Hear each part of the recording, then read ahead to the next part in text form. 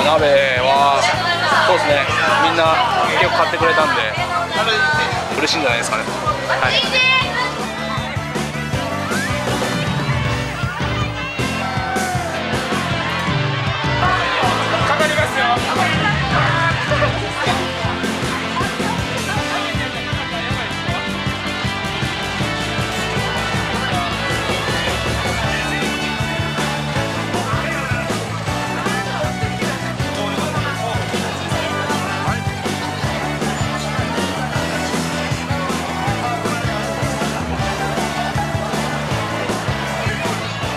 あ美味しいですね。すいません俺群馬の田舎者だから結構うるさいの。うどんとかこういうの。美味しい。ファンの皆さんが種をまいて作ったのか。